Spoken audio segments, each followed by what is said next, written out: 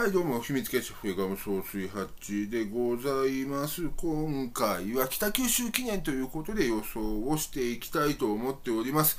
まあ、このレースね、まあ、ハンデ重賞で 1200m 戦ってことでね、まあ、北九州記念自体が小倉記念とあまりに時期が違うんでね、まあ、2000と1008両方やっても仕方ないじゃないかみたいな理由で、まあ、ちょっと前にね、1200m 戦に変更になったと。まあ、そしてですね、まあ、ここ1、2年はですね、CBC 賞が、まあ、京都の改修によって小倉開催みたいなこともあって、同じ条件で結構近い時期に2つ重賞があるみたいな、まあ、そういうふうに見える感じというかね、そういう感じになってるんですね。ただ、開催の前半と開催の後半に当然分かれるわけで、まあ、それによってね、今回開催後半分、力のいる馬場状態になっていたり、いろいろとね、まあ、馬券的には、ここの出し入れってことが難しくなっています。まあ、というわけで、今回の馬券作戦としては、まあ、この開催後半、力のいる馬場状態っていうのをいろいろと考慮していこうと。まあ、去年なんか分かりやすいですよね。まあ、北九州記念の勝ち馬、よかよか。ただ、これ、同じ斤量で、開催前半だった CBC 賞は差し損ねているんですよね。まあ外有利、差し馬有利に当然なっていきますよという中で、まあ、開催後半の方は差し切ってしかも非常に強い競馬を見せた、まあ、同じような考え方をねあの今回もしていけばいいんじゃないかなということでまずはポイント1前走差し損ねた差し馬。まあ、去年のパターンですね。まあ、他条からでもいいんですが、CBC 賞を差し損ねたなんてなってくると、まあ、CBC 賞ね、前に行って良かった馬が人気当然先行して、まあ、だって同じ競馬場で同じような条件のレースでね、すでに1回やってるわけですからね。まあ、そりゃその時に先着した馬の方が印象はええわなということになるわけですよ。なので、ここで3着、4着、5着、そこそこ負けてる馬から、まあ、最あの勝ち馬がねあのどんだけ不利こうその分不利を受けるかみたいなところをね差し引いて、まあ、CBC 賞のにあのと入れ替わっての結果みたいな感じで考えていくとまあいいんじゃないかなと、まあ、そしてですね特にハンデ戦ですから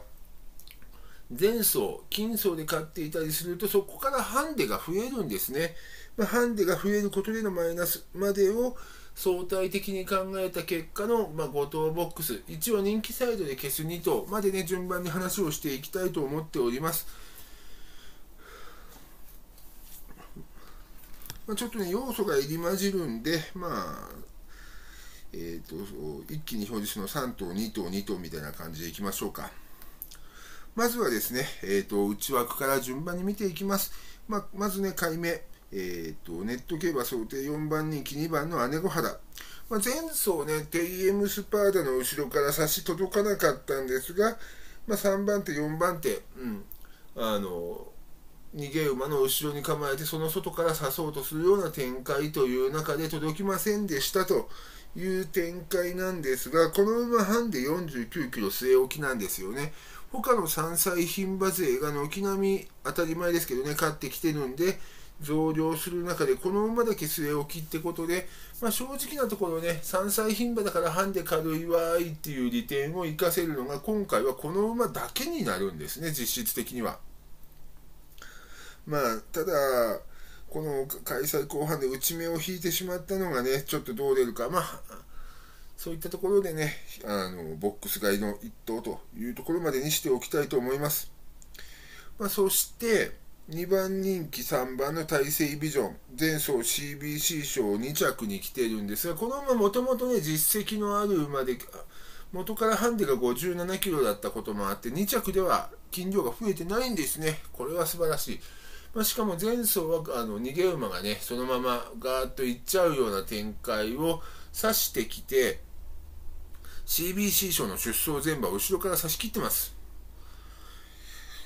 差し有利の北九州記念だったらなおいいんじゃないかということでね。まあこれで枠がもうちょっと真ん中外目ぐらいだったら、えーと、軸でいこうかなというぐらい信頼がおける馬だと思います。で3頭目想定15番人気11番のチェアリングソングまあ、前走福島でですね、まあ、指して3着なんですが、まあ、その時はね、別定戦56キロだったんですね。そこからまあ今回は、えーと、ハンデ戦54キロ。まあ、福島で指してこれて、まあ、小倉でですね、えーと、同じような平坦小回り、右回りなんですが、コーナーから下り坂加減のコースというあたりで指しやすいコースに変わってね、まあ、2桁の枠順を引いてプラスはあると思います。まあ、そして回目後半2頭、想定6番人気13番のファストフォース。まあ、前走ね、負けてる分、こういった回目争いから入れづらいんですが、前走ね、マイナス10何キロっていう馬体重で、自身としてもね、久しぶりの500キロ台みたいな馬体重、もうちょっとね、510キロ台、20キロ台の馬体重で走っていた馬ですから、まあ、プラス馬体重ならということで、去年の2着馬に期待をしていきたいと思います。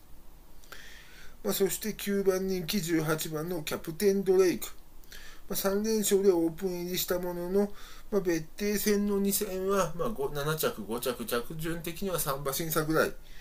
まあ、それに対してね、ハンデ1キロ分軽くなっていたり、まあ、昇級3戦目ということを考慮すると、ギリ今回は足りてくるかなということで、これも買い目に入れておいて、まあ、5等ボックスなら大体当たるというふうにいきたいと思います。ま、それに対してね、ちょっと消していきたい馬なんですが、まずはね、内から順に、まず3番人気4番の TM スパーダ。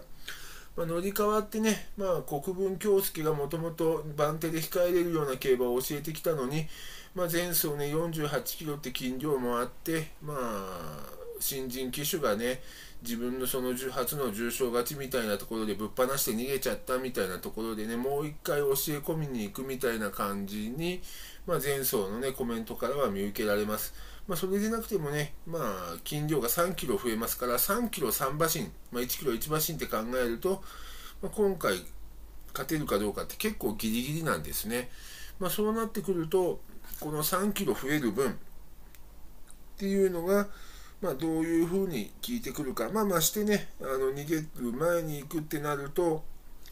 まあ、馬場の悪いところもね、通ってしまいそうというか、内をね、通ってしまえばそうなるみたいなところになってくるんで、まあ、しかもね、目標にされるプレッシャーもきつくなるってところはあるんでね、まあ、ここは決してかかった方が美味しいのかなというふうに思っています。まあ、そして1番人気16番のナムラクレア。これもね、別邸重賞の方で函館スプリントステークスの方を買ってしまったんでね、同じ3歳牝馬。結構斤量見込まれましたね。ハンデが、まあ、それでも53キロ、見かけ上はね、見かけ上はというか実質軽いっちゃ軽いんですが、これ、あの、斤量の規定、コバのボバで換算し直すと、牝馬マイナス2キロ、3歳馬マイナス3キロでね、5キロ本当はもらえるんで、えーと、コバのボバで言えば58キロ、トップハンデナムラクレアですね。まあ、なのでね、これも非常に苦しいのかなと。まあ、本来の3歳馬っていう